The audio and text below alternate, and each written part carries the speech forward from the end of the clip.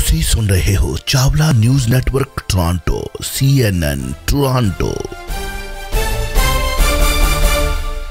ਜੀ ਸ਼ੁਕਰੀਆ ਜੀ ਸਾਰਿਆਂ ਨੂੰ ਸਤਿ ਸ਼੍ਰੀ ਅਕਾਲ ਜੀ। ਜੀ ਹੋਰ ਸੁਣਾਓ ਠੀਕ ਠਾਕ ਹੋ? ਹਾਂ ਜੀ ਹਾਂ ਜੀ ਹਾਂ ਜੀ ਸਰ। ਸੋਖਿਆ ਮਤਲਬ ਕੈਪਟਨ ਸਾਹਿਬ ਬਹੁਤ ਹੀ ਗਰਮ ਹੋਏ ਫਿਰਦੇ ਨੇ। ਹਾਂ ਜੀ ਹੂੰ ਕੈਪਟਨ ਨੇ ਇੱਕ ਹੋਰ ਇੰਟਰਵਿਊ 'ਚ ਫੈਸਲੇ ਨੂੰ ਸਿਆਸੀ ਦੱਸਿਆ। ਹਾਂ ਜੀ ਉਹ ਇੰਟਰਵਿਊ ਦੇ ਰਹੇ ਨੇ। ਵੈਸੇ ਕਮਾਲ ਦੀ ਗੱਲ ਆ ਕਿ ਇੰਟਰਵਿਊ ਵੀ ਉਹ ਖਾਸ ਖਾਸ ਮਤਲਬ ਕਿ ਜਿਵੇਂ ਕਈ ਵਾਰ ਲਿਖਿਆ ਨਹੀਂ ਹੁੰਦਾ ਕਿਸੇ ਖਬਰ ਦੇ ਵਿੱਚ ਕਿ ਚੋਣਵੇਂ ਪੱਤਰਕਾਰਾਂ ਨੂੰ। ਮਤਲਬ ਕਿ ਦੱਸਿਆ। ਚੋਣਵੇਂ ਪੱਤਰਕਾਰ ਮੈਨੂੰ ਨਹੀਂ ਸਮਝ ਮੇਰਾ- ਚੋਣਵੇਂ ਪੱਤਰਕਾਰ ਪਤਾ ਨਹੀਂ ਚੋਣ ਕਿਵੇਂ ਹੁੰਦੀ ਹੈ। ਉਹਨਾਂ ਨੂੰ ਚੁਣਿਆ ਕਿੱਦਾਂ ਜਾਂਦਾ ਹੈ।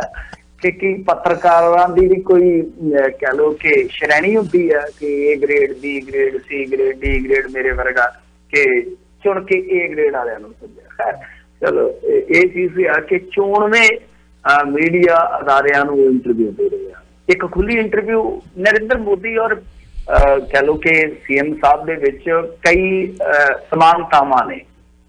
ਕਈ ਇਹਨਾਂ ਦੇ ਵਿੱਚ ਨਾ ਕਹਿ ਲੋ ਕਿ ਜਿੱਦਾਂ ਕਹਿ ਲੋ ਆਦਤਾਂ ਰਲਦੀਆਂ ਮਿਲਦੀਆਂ ਨੇ। ਖੁੱਲੀ ਪੀਸੀ ਉਹ ਵੀ ਨਹੀਂ ਕਰਦੇ। ਖੁੱਲੀ ਇਹ ਵੀ ਨਹੀਂ ਕਰਦੇ। ਜੇ ਕਰਦੇ ਵੀ ਆ ਤਾਂ ਜਵਾਬ ਤੁਹਾਨੂੰ ਪਤਾ ਹੀ ਆ। ਪਹਿਲਾਂ ਤਾਂ ਪ੍ਰਸ਼ਨ ਕੋਈ ਹੋਰ ਸੁਣ ਕੇ ਤੇ ਇਹਨਾਂ ਦੇ ਕੰਨ 'ਚ ਦੱਸਦਾ ਤਾਂ ਮੁੜ ਕੇ ਉੱਤਰ ਜਿਹੜਾ ਘੁਮਾ ਕੇ ਦੇ ਦਿੰਦੇ ਨੇ।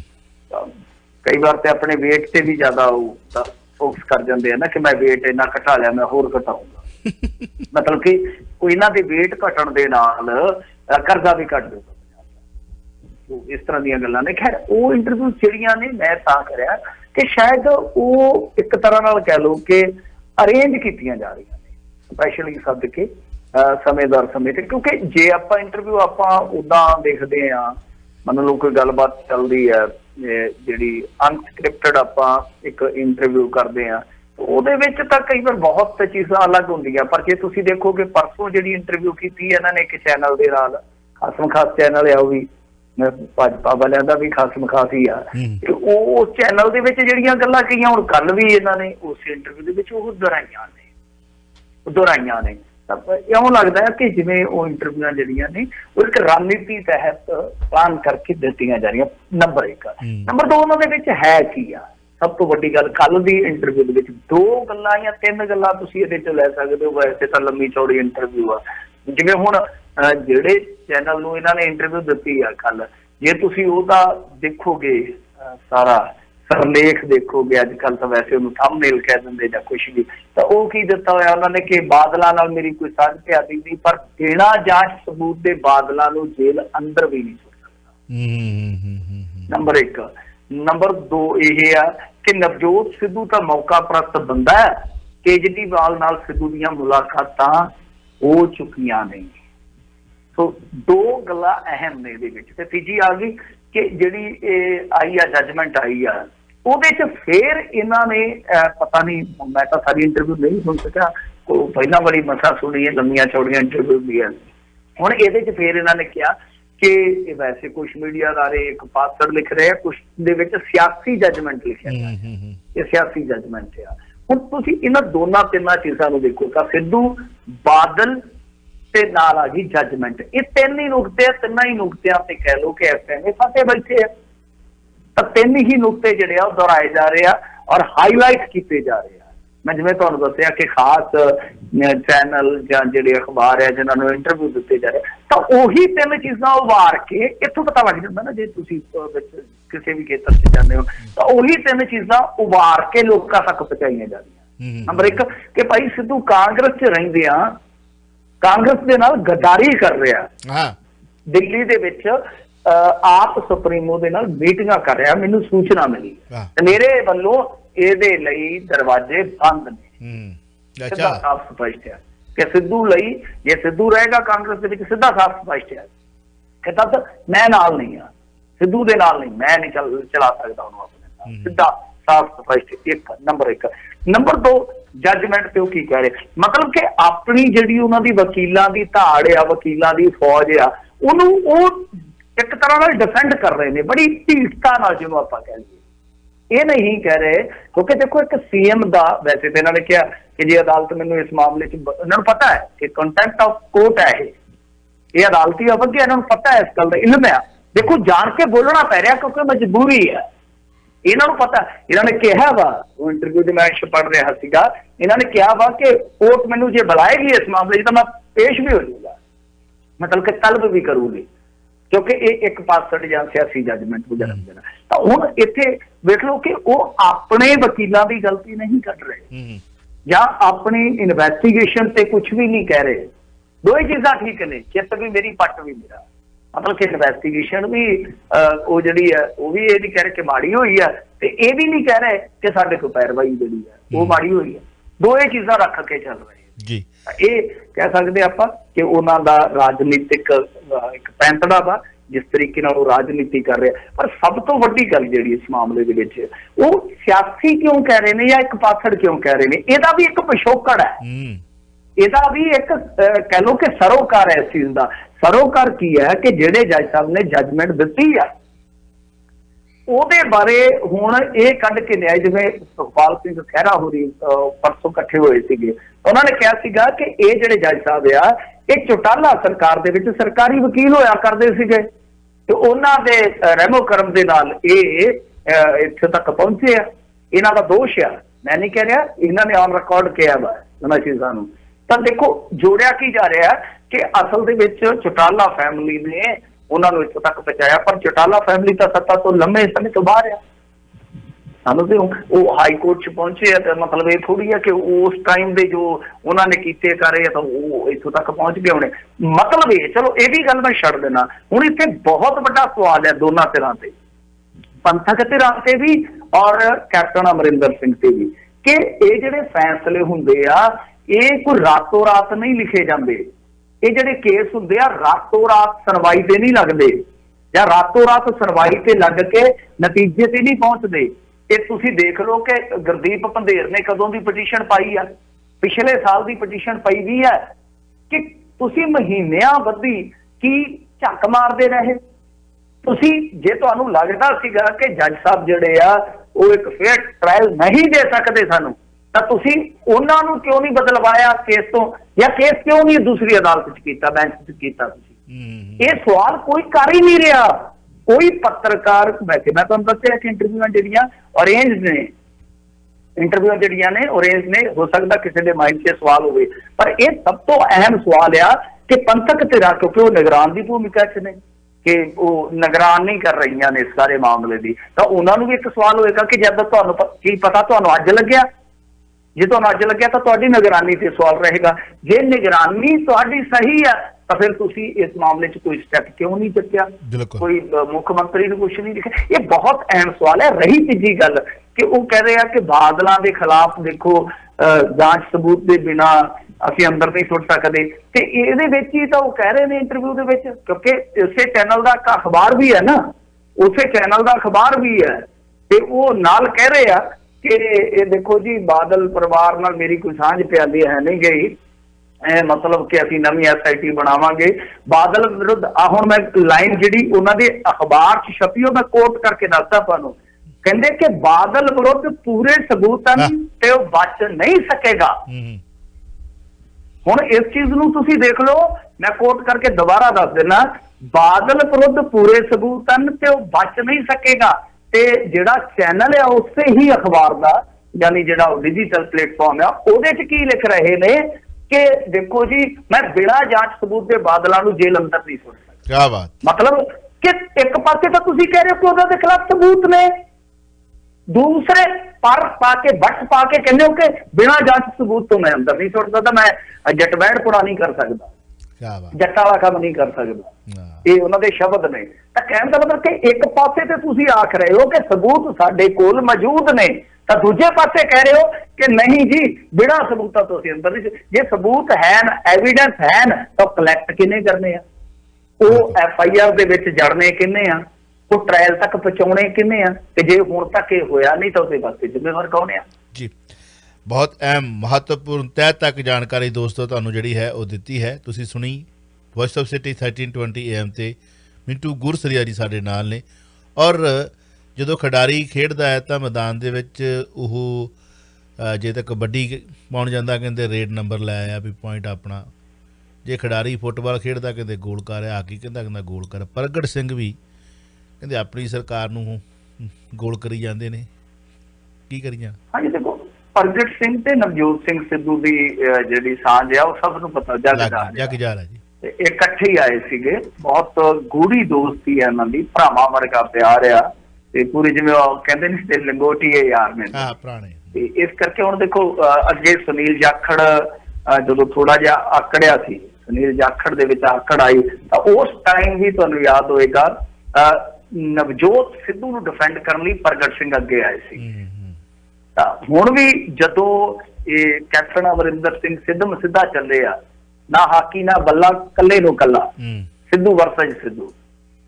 ਦੋਵੇਂ ਕੱਲੇ ਨੂੰ ਕੱਲਾ ਮਤਲਬ ਕਿ ਜਿਵੇਂ ਕਬੱਡੀ ਦਾ ਮੈਚ ਹੁੰਦਾ ਨਾ ਨਾ ਹਾਕੀ ਨਾ ਬੱਲਾ ਕੱਲੇ ਨੂੰ ਕੱਲਾ ਕਬੱਡੀ ਚ ਕਹਿੰਦੇ ਆ। ਤਾਂ ਕੱਲੇ ਨੂੰ ਕੱਲਾ ਜਦੋਂ ਕਰ ਰਿਹਾ ਤਾਂ ਹੁਣ ਪਿੱਛੇ ਸਪੋਰਟ ਹੁੰਦੀ ਹੈ ਨਾ ਤਾੜੀਆਂ ਵੱਜਦੀਆਂ ਨੇ। ਇੱਕ ਪਿੰਡ ਦਾ ਕਹਿ ਲਓ ਕਿ ਸਪੋਰਟ ਉਹ ਗਰਾਊਂਡ ਦੇ ਹੁੰਦਾ, ਦੂਜੇ ਪਿੰਡ ਦਾ, ਦੂਜੇ ਪਾਸੇ ਗਰਾਊਂਡ ਦੇ ਹੁੰਦਾ, ਤਾਂ ਦੋਨੇ ਦਾ ਜ਼ੋਰ ਲਾਉਂਦੇ ਆ ਸ਼ਾਬਾ ਸ਼ਾਬਾ ਖਿੱਚਦੇ ਸਨ, ਤਾਂ ਉਦਾਂ ਹੀ ਜ਼ੋਰ ਲੱਗ ਰਿਹਾ, ਪਰ ਸਿੱਧੂ ਦੇ ਨਾਲ ਥੋੜੇ ਬੰਦੇ ਆ। ਪ੍ਰਗਟ ਉਹਨਾਂ ਦੇ ਵਿੱਚੋਂ ਇੱਕ ਆ ਜਿਹੜਾ ਬੋਲ ਪੈਂਦਾ ਹੈ। ਹੋ ਸਕਦਾ ਸਿੱਧੂ ਨਾਲ ਅੰਦਰ ਖਾਤੇ ਹੋਰ ਵੀ ਹੋਣ, ਪਰ ਉਹ ਬੋਲਣ ਦੀ ਜ਼ਰੂਰਤ ਨਹੀਂ ਕਰਦੇ ਕੈਪਟਨ ਅਮਰਿੰਦਰ ਸਿੰਘ ਦੇ ਅੱਗੇ। ਇਹਨਾਂ ਨੇ ਕਿਹਾ, ਇਹਨਾਂ ਨੇ ਕਿਹਾ ਸਿੱਧਾ ਸਾਫ਼ ਸਪਸ਼ਟ ਲਫ਼ਜ਼ਾਂ ਦੇ ਵਿੱਚ ਕਿ ਦੇਖੋ, ਤੁਸੀਂ ਸਰਵੇ ਕਰਾਉਣਾ ਤਾਂ ਜੋ ਮਰਜ਼ੀ ਸਾਡੇ ਵਿਧਾਇਕਾਂ ਦਾ ਕਿਉਂ ਸਰਵੇ ਕਰਾਉਣੇ ਆਪ ਦੀ ਸਰਕਾਰ ਦਾ ਸਰਵੇ ਕਰਾਓ। ਕਿ ਕਿੱਥੇ ਚੱਲ ਰਹੀ ਹੈ ਤੁਹਾਡੀ ਸਰਕਾਰ? ਦੂਜੀ ਗੱਲ ਹੈ ਉਹਨਾਂ ਨੇ ਆਖਿਆ ਕਿ ਦੇਖੋ ਇਲੈਕਸ਼ਨ ਲੜਨ ਦੇ ਨਾਲ ਜਾਂ ਅਸਤੀਫਾ ਦੇਣ ਦੇ ਨਾਲ ਸਿੱਧੂ ਦੇ ਕੀ ਬੇਅਦਬੀਆਂ ਦਾ ਮਾਮਲਾ ਹੱਲ ਹੋ ਜੂ। ਉਹਨਾਂ ਨੇ ਸਿੱਧਾ ਠੋਕ ਕੇ ਕਿਹਾ ਕਿ ਲੀਪਾ ਪੂਚੀ ਕਰਨ ਦਾ ਜਿਹੜਾ ਹੁਣ ਕੋਈ ਤੁੱਕ ਨਹੀਂ ਬਣਦਾ ਇਦਾਂ ਨਹੀਂ ਸਰਨਾ। ਇਸ ਮਾਮਲੇ ਦੇ ਵਿੱਚ ਬੇਅਦਬੀਆਂ ਦੇ ਮਾਮਲੇ 'ਚ ਗੋਲੀ ਕਾਂਡ ਦੇ ਮਾਮਲੇ 'ਚ ਐਕਸ਼ਨ ਕਰਨ ਦੀ ਜ਼ਰੂਰਤ ਆ। ਵੈਸੇ ਦੱਸਦੇ ਆ ਕਿ ਕੁਝ ਹੋਰ ਵਿਧਾਇਕਾਂ ਨੇ ਵੀ ਪੜਾਕ ਚੰਗੀ ਕੱਢੀ ਆ ਕੈਪਟਨ ਅਮਰਿੰਦਰ ਸਿੰਘ ਦੇ ਕੋਲ।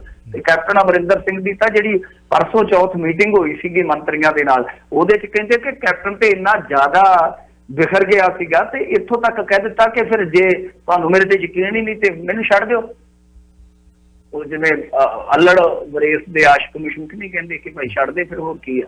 ਨਿੱਕੀ ਨਿੱਕੀ ਗੱਲ ਤੇ ਲੜ ਕੇ ਨਹੀਂ ਕਹਿੰਦੇ ਕਿ ਮੈਂ ਤੈਨੂੰ ਛੱਡ ਦੂੰ ਮੈਂ ਤੈਨੂੰ ਛੱਡ ਬਸ ਬਸ ਹਾਂ। ਉਦਾਂ ਹੀ ਕਿ ਭਾਈ ਮੈਨੂੰ ਛੱਡ ਦਿਓ। ਸੋ ਇੱਥੋਂ ਤੱਕ ਗੱਲਾਂ ਗਈਆਂ ਨੇ। ਵਿਧਾਇਕ ਹੋਰ ਵੀ ਬੋਲੇ ਆ ਮਾਝੇ ਵਾਲੇ ਵੀ ਬੋਲੇ ਆ ਦੁਆਬੇ ਵਾਲੇ ਵੀ ਬੋਲੇ ਆ।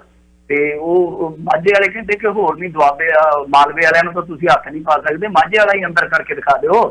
ਲੋਕਾਂ ਨੂੰ ਕੁਛ ਤਾਂ ਕਰਕੇ ਕੁਛ ਤਾਂ ਕਹਿ ਕੇ ਦਿਖਾਈਏ ਅਸੀਂ ਲੋਕਾਂ ਨੂੰ। ਸੋ ਇਹੋ ਜਿਹੀਆਂ ਚੀਜ਼ਾਂ ਚੱਲ ਰਹੀਆਂ ਨੇ। ਹੁਣ ਇਹਨਾਂ ਦਾ ਖਲਾਰਾ ਬਹੁਤ ਜ਼ਿਆਦਾ ਪੈ ਗਿਆ। ਇੱਕ ਪਾਸੇ ਦੁੱਲੋ ਪ੍ਰਤਾਪ ਸਿੰਘ ਬਾਜਵਾ ਸਿੱਧੂ ਪ੍ਰਗਟ ਸਿੰਘ ਹੋ ਸਕਦਾ ਜਿਵੇਂ ਜਿਵੇਂ ਇਲੈਕਸ਼ਨ ਨੇੜੇ ਆਵੇ ਹੋਰ ਵੀ ਬੰਦੇ ਜਿਹੜੇ ਉਹ ਇਸ ਤਰ੍ਹਾਂ ਦੇ ਸੁਰ ਬੁਲੰਦ ਕਰ ਲੈਣ ਕਿਉਂਕਿ ਇਹਨਾਂ ਤੋਂ ਵਟਿਆ ਕੁਝ ਨਹੀਂ ਜਾਣਾ ਇਹ ਸਮਾਂ ਬਹੁਤ ਘੱਟ ਰਹਿ ਗਿਆ ਐਸਆਈਟੀ ਹੀ ਬਣਾਉਣਗੇ ਵੀ 4-5 ਮਹੀਨੇ ਲੱਗ ਜਾਣੇ ਆ ਫਿਰ ਵੀ ਟ੍ਰਾਇਲ ਸ਼ੁਰੂ ਹੋਏਗਾ। ਮੈਨੂੰ ਨਹੀਂ ਲੱਗਦਾ ਕਿ ਨਿਆਂ ਤੱਕ ਪਹੁੰਚੇ ਪਾਏਗੀ ਗੱਲ। ਚਲੋ ਆਪਾਂ ਅਗਲੀ ਕਾਲ ਲੈ ਲੈਣੇ ਜੀ। ਵੈਲਕਮ ਜੀ। ਹਾਂਜੀ ਸਤਿ ਸ੍ਰੀ ਅਕਾਲ ਜੀ। ਸਤਿ ਸ਼੍ਰੀ ਮੇਰਾ ਅਕਾਲ ਕੁਐਸਚਨ ਹੈਗਾ ਕਿ ਹੁਣ ਜਦ ਐਸਆਈਟੀ ਨਵੀਂ ਬਣਾਉਣ ਦੀ ਕੋਸ਼ਿਸ਼ ਕਰ ਰਿਹਾ ਜੋ ਹੋਰ ਤੁਸੀਂ ਕਿਹਾ ਕਿ ਉਹਨਾਂ ਦੀਆਂ ਸਟੇਟਮੈਂਟ ਕੰਟਰਾਡਿਕਟ ਨੇ ਪੇਪਰ 'ਚ ਕੁਝ ਹੋਰ ਆਉਂਦਾ ਤੇ ਮੀਡੀਆ ਦੂਸਰੇ ਚੈਨਲ ਤੇ ਕੁਝ ਹੋਰ ਦੱਸਦੇ ਨੇ। ਹੁਣ ਉਹ ਸਿੱਧਾ ਉਹਨਾਂ ਨੇ ਸਿੱਧੂ ਸਾਹਿਬ ਨੂੰ ਚੈਲੰਜ ਕੀਤਾ। ਤੁਸੀਂ ਕੀ ਸਮਝਦੇ ਹੋ ਤੁਹਾਡੇ? ਕਿਉਂਕਿ ਤੁਸੀਂ ਉੱਥੇ ਹੈਗੇ ਹੋ ਐਂਡ ਵੈਰੀ ਇਨਫੋਰਮ ਇਨਫੋਰਮੇਟਿਵ ਹੋ ਕਿ ਸਿੱਧੂ ਹਰਾ ਸਕਦਾ ਕੈਪਟਨ ਸਾਹਿਬ ਨੂੰ?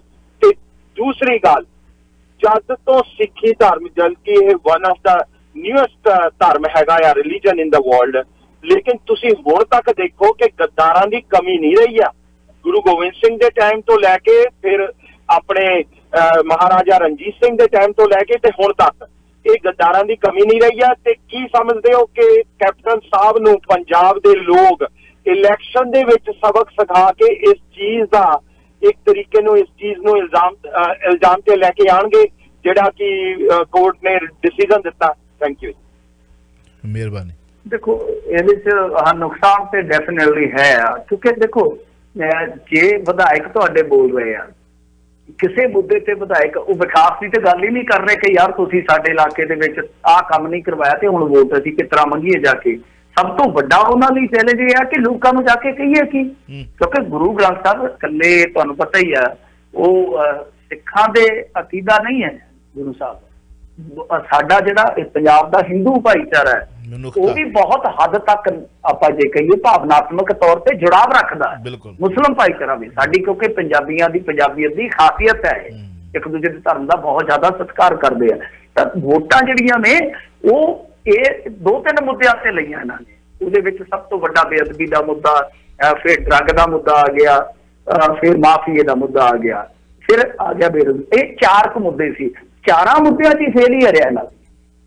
ਚਾਰਾਂ ਪੰਜਾਂ ਮੁੱਦਿਆਂ 'ਚ ਫੇਲੀਅਰ ਰਹੀ ਹੈ, ਆਪਾਂ ਨੂੰ ਵੀ ਪਤਾ। ਹਾਂ, ਸਿਆਸੀ ਤੌਰ ਤੇ ਡਿਫੈਂਡ ਕੋਈ ਕਰਦਾ ਰਹੇ ਸੋ ਕਰਦਾ ਰਹੇ। ਮੇਰਾ ਮੰਨਣਾ ਇਹ ਆ ਕਿ ਪੱਕਾ ਇਹਨਾਂ ਦਾ ਨੁਕਸਾਨ ਤੈਅ ਆ।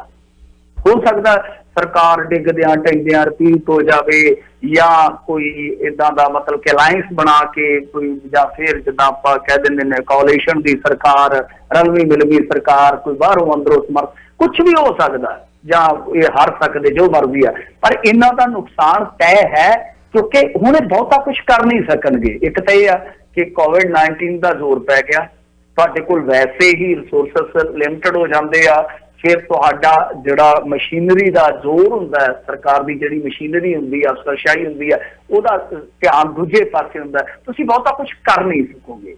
ਪਹਿਲੀ ਗੱਲ ਤੇ ਇਹ ਆ। ਪਹਿਲਾਂ ਤੁਹਾਨੂੰ ਇਹ ਵੀ ਇੰਤਜ਼ਾਰ ਰਹੇਗਾ ਕਿ ਇਹ ਚੀਜ਼ਾਂ ਕਿਵੇਂ ਠੀਕ ਹੋਣਗੀਆਂ ਉਦੋਂ ਬਾਅਦ ਅਸੀਂ ਆਹ ਚੀਜ਼ਾਂ ਕਿਵੇਂ ਠੀਕ ਕਰੀਏ। ਤਾਂ ਮੇਰੇ ਖਿਆਲ ਦੇ ਨਾਲ ਨੁਕਸਾਨ ਹੈ। ਦੂਜੀ ਗੱਲ ਪਟਿਆਲੇ ਦੀ ਜਿਹੜੀ ਆ, ਦੇਖੋ, ਅਹ ਮੈਂ ਜਿੰਨਾ ਕੋ ਪਟਿਆਲੇ ਮੇਰੇ ਕਿਉਂਕਿ ਮੇਰੇ ਨਾਨਕੇ ਆ, ਤੇ ਮੈਂ ਪਟਿਆਲੇ ਰਿਹਾ, ਛੋਟਾ ਹੁੰਦਾ ਹੀ ਰਿਹਾ।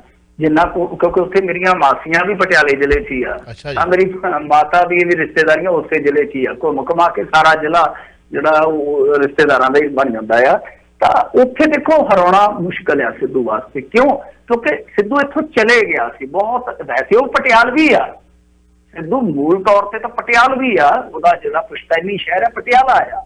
ਪਰ ਉਹ ਇੱਥੋਂ ਲੰਮੇ ਸਮੇਂ ਤੋਂ ਗੈਰ ਹਾਜ਼ਰ ਆ। ਤਾਂ ਉਹਦੀ ਗੈਰ ਹਾਜ਼ਰੀ ਦੇ ਵਿੱਚ ਜੇ ਕਹਿ ਲੋ ਤਾਂ ਜੇ ਕੋਈ ਵੱਡਾ ਥੰਮ ਬਣ ਕੇ ਉੱਥੇ ਉਭਰਿਆ, ਉਹ ਹੈ ਕੈਪਟਨ ਅਮਰਿੰਦਰ ਸਿੰਘ। ਤਾਂ ਉਹਦੇ ਫੈਮਿਲੀ ਮੈਂਬਰ ਨੂੰ ਜਾਂ ਉਹਨੂੰ ਹਰਾਉਣਾ ਮੇਰੇ ਖਿਆਲ ਜਿਹੜਾ ਬਹੁਤ ਟੇਢੀ ਚੀਜ਼ ਆ। ਕੋਈ ਚਮਤਕਾਰ ਹੋ ਜਾਏ ਤਾਂ ਉਹਨੂੰ ਨਮਸਕਾਰ ਆ, ਪਰ ਬਹੁਤ ਮੁਸ਼ਕਲ ਆ। ਵੈਸੇ ਇਲੈਕਸ਼ਨ ਹਾਰੇ ਹੋਏ ਉੱਥੇ ਪਟਿਆਲੇ ਤੋਂ। ਹਾਂ ਬਿਲਕੁਲ। ਤੁਸੀਂ ਗੱਲ ਬੜੀ ਦੂਰ ਦੀ ਕੀਤੀ, ਜਦੋਂ ਨਵਜੋਤ ਸਿੱਧੂ ਨੂੰ ਅੰਮ੍ਰਿਤਸਰ ਧਾਰਿਆ ਸੀਗਾ, ਹਾਂਜੀ, ਰਘੁਨੰਦਨ ਲਾਲ ਭਾਟੀਆ ਦੇ ਸਾਹਮਣੇ, ਤੇ ਰਘੁਨੰਦਨ ਲਾਲ ਭਾਟੀਆ ਦਾ ਕੱਦ ਬਹੁਤ ਵੱਡਾ। ਬਹੁਤ ਅਹਿਮ ਸੀ। ਯੂਥ ਨਵਜੋਤ ਸਿੱਧੂ ਦਾ ਕਰੇਜੀ ਸੀ ਇਸ ਵਕਤ ਤੇ ਯੂਥ ਨੇ ਉੱਪਰਲੀ ਥੱਲੇ ਲਿਆਤੀ ਸੀਗੀ। ਰਘੁਨੰਦਨ ਲਾਲ ਭਾਟੀਆ ਨੂੰ ਹਰਾਉਣਾ ਵੀ ਇਸ ਤਰ੍ਹਾਂ ਹੀ ਕਿਹਾ ਜਾਂਦਾ ਸੀ। ਪਰ ਜੇ ਸਿਆਸੀ ਜੋੜ ਤੋੜ ਜਿਵੇਂ ਆ, ਉਦੋਂ ਤੇ ਦੋ ਹੀ ਪਾਰਟੀਆਂ ਕਾਂਗਰਸ ਤੇ ਅਕਾਲੀ ਹੁਣ ਆਮ ਆਦਮੀ ਪਾਰਟੀ ਹੈ ਤੇ ਇੱਕ ਤੁਹਾਨੂੰ ਪਤਾ ਹੈ ਕਿ ਹੋਰ ਉੱਥੇ ਲਹਿਰ ਜੀ ਉੱਠੀ ਹੈ ਕਿਸਾਨਾਂ ਵਾਲੀ ਉਹਦੇ ਜੋੜ ਤੋੜ ਵੇਖੀਏ ਤੇ ਕੁਝ ਵੀ ਹੋ ਸਕਦਾ ਕੁਝ ਵੀ ਰਾਜਨੀਤੀ ਦੇ ਵਿੱਚ ਉਥਲ-ਪੁਥਲ ਹੋ ਸਕਦਾ ਹੈ। ਕੋਈ ਰਾਜਨੀਤੀ ਪੱਕੀ ਸਟੈਂਪ ਨਹੀਂ ਕਿਸੇ ਨੇ ਲਾਈ ਹੁੰਦੀ ਵੀ ਮਈਓ ਜਿੱਤਣਾ ਹਰ ਵਾਰੀ। ਆਪਾਂ ਅਗਲੀ ਕਾਲ ਲੈ ਲੈਣੇ ਜੀ। ਹੈਲੋ ਹਾਂਜੀ ਚਾਵਲਾ ਸਾਹਿਬ ਤੇ ਮਿੰਟੂ ਜੀ ਸਤਿ ਸ਼੍ਰੀ ਅਕਾਲ ਜੀ। ਜੀ ਕੁਝ ਲੋਕ ਇਹ ਕਹਿੰਦੇ ਨੇ ਕਿ ਸਿੱਧੂ ਜਿੱਤੇ ਚਾਹੇ ਨਾ ਜਿੱਤੇ ਕੈਪਟਨ ਨੂੰ ਹਰਾ ਜ਼ਰੂਰ ਸਕਦਾ।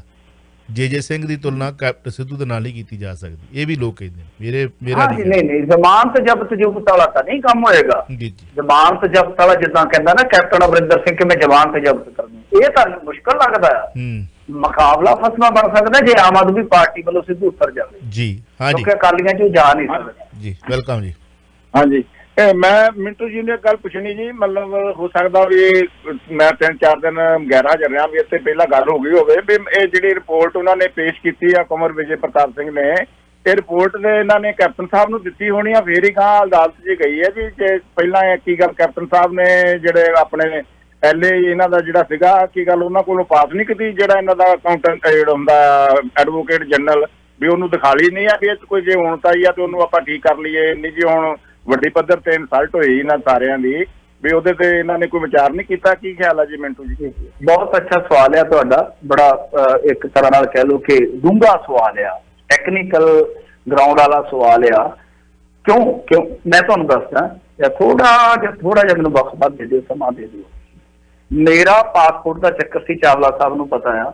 ਤੇ ਮੇਰੇ ਸਬੰਧਤ ਥਾਣੇ ਨੇ ਜਦ ਮੈਂ ਰਿਨਿਊ ਕਰਾਉਣ ਲਈ ਕਿਉਂਕਿ ਲੰਘ ਲੰਘ ਗਈ ਡੇਟ ਮੈਨੂੰ ਤਾਂ ਪਤਾ ਹੀ ਨਹੀਂ ਸੀ ਕਿ ਮੇਰੇ ਮੇਰੇ ਫਾਦਰ ਦੇ ਟਾਈਮ ਬਣਿਆ ਹੋਇਆ। ਜਦੋਂ ਮੈਂ ਗਿਆ, ਮੇਰੇ ਥਾਣੇ ਵਾਲਿਆਂ ਨੂੰ ਮੈਂ ਆਪ ਹੀ ਦੱਸਦਾ ਮੈਂ ਕਿ ਵੀਰੇ, ਮੇਰਾ ਇੱਕ ਕੇਸ ਪੈਂਡਿੰਗ ਹੈ ਤੇ 20 22 ਸਾਲ ਤੋਂ ਪੈਂਡਿੰਗ ਹੈ ਤੇ ਮੈਂ ਲਕਾਉਣਾ ਨਹੀਂ ਹੈ। ਆ ਫੈਸਲਾ ਹੈ, ਆ ਮੇਰੀ ਉੱਥੇ ਸਟੇ ਹੋਈ ਹੋਈ ਆ ਕਨਵੈਕਸ਼ਨ ਤੇ ਤੁਸੀਂ ਰਿਪੋਰਟ ਦਿਓ ਤਾਂ ਕਿ ਮੈਂ ਆਪਣਾ ਪਾਸਪੋਰਟ ਹਾਸਲ ਕਰ ਸਕਾਂ ਜਿਹੜਾ ਮੇਰਾ ਇੱਕ ਫੰਡਾਮੈਂਟਲ ਰਾਈਟ ਹੈ ਆ ਜਦੋਂ ਮੈਂ ਜਾ- ਜਦੋਂ ਮੈਂ ਤੁਹਾਨੂੰ ਪਹਿਲਾਂ ਦੱਸ ਰਿਹਾ ਮੈਂ ਜਾਣ ਲੱਗਿਆ ਕਿਤੇ ਵੀ ਉਦੋਂ ਅਦਾਲਤ ਨੂੰ ਦੱਸ ਕੇ ਜਾਊਂਗਾ ਉਹ ਕਹਿੰਦੇ ਕਿ ਨਹੀਂ ਜੀ ਅਸੀਂ ਤੁਹਾਡੀ ਰਿਪੋਰਟ ਨੈਗੇਟਿਵ ਵੀ ਨਹੀਂ ਕਰਦੇ ਪਰ ਅਸੀਂ ਡੀਏ ਲੀਗਲ ਤੋਂ ਪੁੱਛਾਂਗੇ ਆ ਜਿਹੜਾ ਹੁੰਦੇ ਨਾ ਡਿਸਟ੍ਰਿਕਟ ਇਹਨਾਂ ਦੇ ਜਿਹੜੇ ਐਡਵੋਕੇਟ ਹੁੰਦੇ ਆ ਜਿਹੜੇ ਉਹਨਾਂ ਨੇ ਡੀਏ ਲੀਗਲ ਕੋਲ ਕੱਲਿਆ ਇੱਕ ਛੋਟੀ ਜੀ ਰਿਪੋਰਟ ਕਰਨੀ ਸੀਗੀ ਤਾਂ ਉਹਨਾਂ ਨੇ ਡੀਏ ਲੀਗਲ ਦੀ رائے ਲਈ ਕਿ ਭਾਈ ਤੁਸੀਂ ਦੱਸੋ ਜਿਹੜਾ ਉਹਨਾਂ ਦਾ ਅਟਾਰਨੀ ਹੈ ਸਰਕਾਰੀ।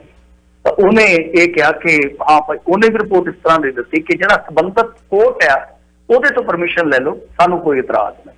ਤਾਂ ਤੁਸੀਂ ਦੇਖੋ ਕਿ ਇੱਕ ਬੰਦੇ ਦੀ ਇੱਕ ਰਿਪੋਰਟ ਵੈਰੀਫਿਕੇਸ਼ਨ ਕਰਵਾਉਣ ਵਾਸਤੇ ਉਹਨਾਂ ਨੇ ਡੇਢ ਮਹੀਨਾ ਮੇਰਾ ਇਹ ਮਾਮਲਾ ਪ੍ਰੋਸੀਜਰ ਚ ਪਾਇਆ ਪ੍ਰੋਸੈਸ ਦੇ ਵਿੱਚ ਪਾਇਆ ਕਿ ਅਸੀਂ ਇਦਾਂ ਨਹੀਂ ਕਰਾਂਗੇ ਭਾਈ। ਤਾਂ ਮਤਲਬ ਕਿ ਇੱਕ ਕਾਨੂੰਨੀ ਮਾਹਰ ਜਿਹੜਾ ਉੱਤੇ ਬੈਠਾ ਹੁੰਦਾ ਜ਼ਿਲ੍ਹੇ ਦੇ ਵਿੱਚ ਜਿਹੜਾ ਕਾਨੂੰਨੀ ਅਫਸਰ ਹੈ ਸਰਕਾਰੀ ਤੌਰ ਤੇ ਪਹਿਲਾਂ ਉਹਨੂੰ ਦਿਖਾਇਆ ਗਿਆ ਕੇਸ ਕਿ ਅਸੀਂ ਆਪਾਂ ਬਲਪੂਰ ਸੇ ਜੀ ਤੁਸੀਂ رائے ਦਿਓ ਉਹਨੇ ਆਪਣੀ رائے ਲਿਖ ਕੇ ਦਿੱਤੀ ਕਿ ਜਿਹੜਾ ਵੀ ਸੰਬੰਧਤ ਕੋਰਟ ਆ ਮਤਲਬ ਕਿ ਹਾਈ ਕੋਰਟ ਤੇ ਆ ਤਾਂ ਹਾਈ ਕੋਰਟ ਚੋਂ ਤੁਸੀਂ ਪਰਮਿਸ਼ਨ ਲੈ ਲਓ ਦੈਨ ਸਾਨੂੰ ਕੋਈ ਇਤਰਾਜ਼ ਨਹੀਂ ਹੈ ਤਾਂ ਤੁਸੀਂ ਆਪ ਹਿਸਾਬ ਲਾ ਲਓ ਕਿ ਜੇ ਇਹੋ ਜਿਹਾ ਸੈਂਸਿਟਿਵ ਕੇਸ ਕਿਉਂਕਿ ਆਫੀਸ਼ੀਅਲੀ ਇਹ ਨਹੀਂ ਕਹਿ ਰਹੇ ਕਿ ਅਹ, ਕੁਮਰ ਵਿਜੇ ਪ੍ਰਤਾਪ ਸਿੰਘ ਨੇ ਵੀ ਨਹੀਂ ਦੱਸਿਆ ਕਿ ਮੈਂ ਇਹ ਚਲਾਨ ਅਹ, ਜਿਹੜੇ ਐਡਵੋਕੇਟ ਜਰਨਲ ਆ ਉਹਨੂੰ ਦਿਖਾਇਆ ਜਾਂ ਨਹੀਂ ਦਿਖਾਇਆ? ਮਤਲਬ ਕਿ ਜਿਹੜਾ ਲੀਗਲ ਪੈਨਲ ਜਿਹੜਾ ਕਹਿ ਲੋ ਕਿ ਸਰਕਾਰ ਵੱਲੋਂ ਅਪੁਆਇੰਟ ਆ ਕੁਮਰ ਵਿਜੇ ਪ੍ਰਤੂ- ਪ੍ਰਤਾਪ ਸਿੰਘ ਵੀ ਇਸ ਗੱਲ ਨੂੰ ਸਾਫ਼ ਨਹੀਂ ਕਰ ਰਹੇ ਕਲੀਅਰ ਨਹੀਂ ਕਰ ਰਹੇ ਕਿ ਉਹਨਾਂ ਨੇ ਚਲਾਨ ਪਹਿਲਾਂ ਉਹਨਾਂ ਨੂੰ ਭੇਜਿਆ ਕਿ ਨਹੀਂ ਭੇਜਿਆ? ਕਿਉਂਕਿ ਆਮ ਤੌਰ ਤੇ ਜਿੰਨੀ ਕੋ ਮੈਨੂੰ ਜਾਣਕਾਰੀ ਹੈ ਜਿੰਨੇ ਕੋ ਮੈਂ ਧੱਕੇ ਧੋੜੇ ਖਾਦੇ ਆ ਚਲਾਨ ਨੂੰ ਪਹਿਲਾਂ ਡੀਏ ਵਗੈਰਾ ਕੋਲ ਮਤਲਬ ਕਿ ਆਪਣੇ ਜਿਹੜੇ ਸਰਕਾਰੀ ਵਕੀਲ ਹੁੰਦੇ ਆ ਉਹਨਾਂ ਦੇ ਕੋਲ ਭੇਜਿਆ ਜਾਂਦਾ ਹੈ ਕਿ ਜੇ ਕੋਈ ਕਮੀ ਪੇਸ਼ੀ ਆ ਜ਼ੋਰ ਤੇ ਸਾਨੂੰ ਹੁਣੇ ਦੱਸ ਦਿਓ। ਤਾਂ ਉਹਦੇ ਵਾਸਤੇ ਕਈ ਵਾਰ ਪੁਲਿਸ ਅਫਸਰ ਰੌਲਾ ਵੀ ਪਾਉਂਦੇ ਆ ਕਿ ਸਾਨੂੰ ਟਾਈਮ ਨਹੀਂ ਦਿੰਦੇ ਕੁਝ ਕਹਿੰਦੇ ਆ ਕਿ ਯਾਰ ਇਹ ਨਜ਼ਰਾਨੇ ਭਾਲਦੇ ਉਹ ਇਹਨਾਂ ਦੇ ਅੱਡ ਰੌਲੇ ਹੁੰਦੇ ਆ। ਤਾਂ ਮੇਰੇ ਕਹਿਣ ਦਾ ਮਤਲਬ ਕਿ ਐਡਾ ਸੈਂਸਿਟਿਵ ਇਸ਼ੂ ਹੈ ਜਿਹੜਾ ਉਹਦੇ 'ਚ ਇਹ ਚੀਜ਼ ਸਾਫ਼ ਨਹੀਂ ਹੋ ਰਹੀ। ਹਾਂ ਇੱਕ ਖਬਰ ਜਿਹੜੀ ਹੈ ਮੈਂ ਤੁਹਾਨੂੰ ਦੱਸ ਦਿੰਦਾ ਕਿ ਜਦਣ ਜਿੱਦਣ ਇਹਨਾਂ ਦੀ ਮੀਟਿੰਗ ਹੋਈ ਜਦ ਕੈਬਨਿਟ ਮਿਨਿਸਟਰਾਂ ਦੇ ਨਾਲ ਉਦੋਂ ਇੱਕ ਅਖਬਾਰ ਨੇ ਦਾਵਾ ਕੀਤਾ ਸੀਗਾ ਕਿ ਐਡਵੋਕੇਟ ਜਰਨਲ ਨੇ ਇਹ ਕਹਿ ਕੇ ਪੱਲਾ ਝਾੜ ਲਿਆ ਕਿ ਦੇਖੋ ਜੀ ਮੈਨੂੰ ਇਹ ਚਲਾਨ ਵਿਖਾਇਆ ਹੀ ਨਹੀਂ ਗਿਆ। ਹੂੰ ਹੂੰ ਹੂੰ ਅਸੀਂ ਨਹੀਂ ਦੇਖਿਆ ਅਸੀਂ ਰਿਪੋਰਟ ਦੇਖੀ ਹੋਈ ਨਹੀਂ ਤਾਂ ਦੋਨਾਂ ਹੀ ਸੂਰਤਾਂ ਦੇ ਵਿੱਚ ਅਹ ਇੱਥੇ ਸੁੱਟ ਜਿਹੜੀ ਆ ਉਹ ਆਪਾਂ ਸੁੱਟ ਸਕਦੇ ਆ ਸਰਕਾਰ ਤੇ ਕਿ ਜੇ ਅਫਸਰ ਨੇ ਕੋਈ ਕਤਾਈ ਕੀਤੀ ਉਹਨੇ ਕੋਈ ਲੀਗਲੀ رائے ਨਹੀਂ ਲਈ ਤਾਂ ਉਹ ਜ਼ਿੰਮੇਵਾਰ ਹੈ ਤਾਂ ਉਹਦੀ ਜ਼ਿੰਮੇਵਾਰੀ ਉਹਦੀ ਨਿਗਰਾਨੀ ਕਿਨ ਕਰਨੀ ਆ ਹੋਮ ਮਿਨਿਸਟਰ ਨੇ ਹੋਮ ਮਿਨਿਸਟਰ ਕੌਣ ਆ ਤੇ ਜੇ ਉਹਨੇ ਭੇਜਿਆ ਐਡਵੋਕੇਟ ਜਨਰਲ ਨੇ ਵੇਖਿਆ ਹੀ ਨਹੀਂ Then ਤਾਂ ਵੀ ਜਿਹੜੀ ਆ ਉਹ ਜ਼ਿੰਮੇਵਾਰੀ ਸਰਕਾਰ ਦੀ ਬਣਦੀ ਹੈ ਪ੍ਰੋਸੈਸ ਹੁੰਦਾ। ਜੀ ਅਗਲੀ ਕਾਲ ਲੈ ਲਈਏ, ਫਿਰ ਆਪਾਂ ਹਾਈ ਕੋਰਟ ਨੇ ਇੱਕ ਦਿੱਤਾ ਬਿਆਨ ਕਿ ਨਿੱਕੇ ਨਿੱਕੇ ਕ੍ਰਿਮੀਨਲ ਨਾ ਫੜੋ। ਛੋਟੀਆਂ ਛੋਟੀਆਂ ਗੱਲਾਂ, ਵੱਡੀਆਂ ਗੱਲਾਂ ਬਣਦੀਆਂ, ਇੱਕ ਨਾਵਲ ਸੀਗਾ, ਨਿੱਕੀਆਂ ਨਿੱਕੀਆਂ ਗੱਲਾਂ।